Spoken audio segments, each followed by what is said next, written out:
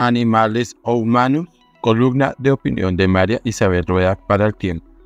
Increíble que la principal arma de Hamas para atacar a Israel sea el sufrimiento del propio pueblo. La salvaje masacre de Hamas en los kibbutz israelíes es censurable desde absolutamente todo punto de vista. Así, al presidente Petro le resulta indiferente. Es increíble que la principal arma de Hamas para atacar a Israel sea el sufrimiento de su propio pueblo. Tenía que tener prevista la brutal reacción del gobierno israelí. Este espectáculo nos hace cerrar 2023 con gran desazón. Estaremos en un proceso de deshumanización consistente en comportamientos más parecidos a las fieras que a los humanos. Por un lado está Hamas, sintiéndose con el derecho de matar, violar y secuestrar israelíes. Por el otro lado, Israel defendiendo el suyo de acabar con Hamas, a una costa de la vida de miles de palestinos aplastados por las bombas y de otros miles amenazados por el hambre y la enfermedad. Muchos que ni siquiera apoyan a Hamas y algunos que hasta lo detestan. Es decir, como Hamas masacró 1.200 israelíes, eso le dio licencia a Israel para matar 20.000 palestinos y contando. El esfuerzo en 1948 por parte de Naciones Unidas por diseñar una partición que hiciera posible la creación de dos estados ha fracasado hasta hoy. Y desde entonces han pasado más de 30 años de negociaciones fallidas. A esta hora las partes parecen en un callejón sin salida mientras Yahed Sinwar, cerebro del atroz ataque Hamas el 7 de octubre, anuncia desde su escondite que esta guerra contra Israel continuará hasta el final. El primer ministro israelí Benjamin Netanyahu dice lo propio a los soldados. Estamos orgullosos de ustedes y de su determinación y ganas de continuar hasta el final. Pero irónicamente muchos analistas ven en medio de tanta sangre una nueva oportunidad la de sentarse otra vez a conversar, lo cual no se intenta desde 2014.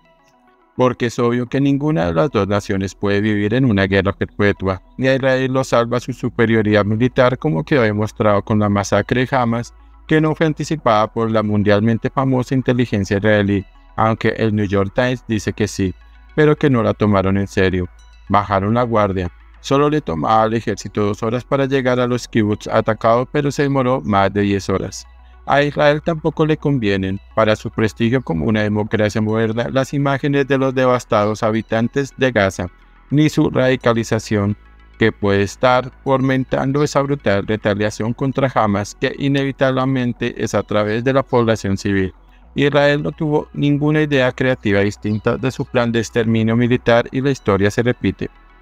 Históricamente se ha planteado dos salidas, o la convivencia de dos estados, uno de Israel y con uno de Palestina, o la creación de un solo estado en el que todos tengan los mismos derechos y puedan convivir sin canibalizarse el pequeño territorio.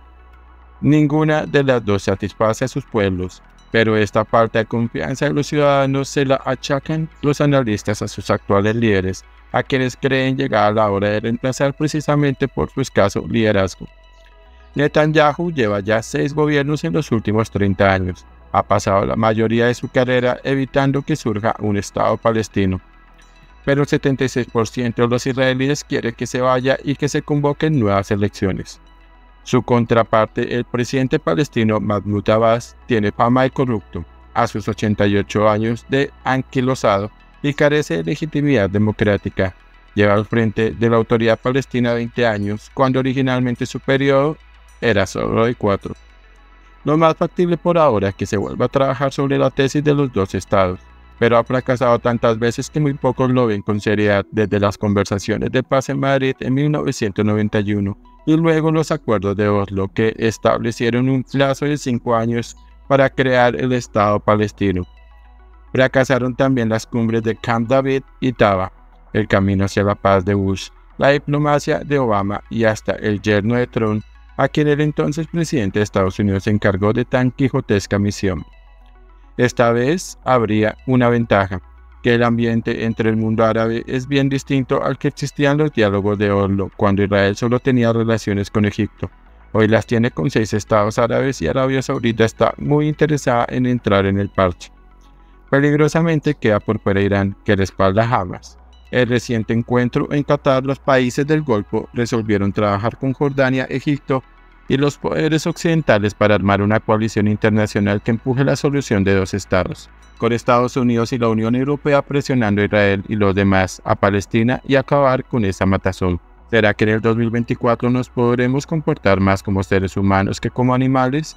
Aunque muy frecuentemente los animales nos ganan en inteligencia, nobleza y generosidad. María Isabel Rueda para el tiempo.